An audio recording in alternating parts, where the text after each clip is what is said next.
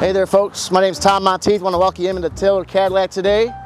I want to show you this 2017 Toyota RAV4.